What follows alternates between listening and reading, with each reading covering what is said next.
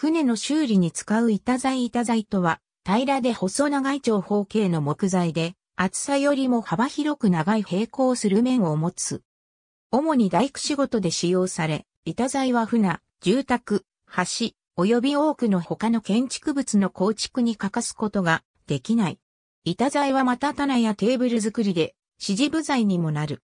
製材所で丸太を板材に切り出す板材は、ノコギリで切った木材から作られ、厚さは通常1プラス1、2インチ以上で、幅は一般に2プラス1、2インチ以上である。アメリカ合衆国では、板材の長さは自由で、厚さ2インチ幅8インチ以上であるが、厚さ2インチ幅10インチ、厚さ2インチ幅12インチが木材店のより一般的な品揃えである。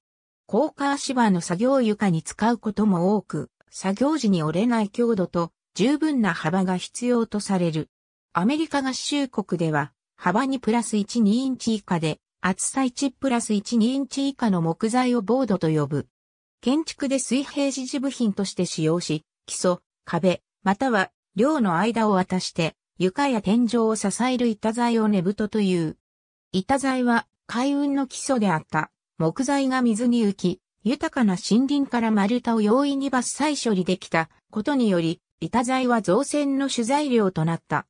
しかしながら、20世紀以降、造船で木材の大部分は鉄や鋼に置き換えられ、費用が削減され強度が改善した。ありがとうございます。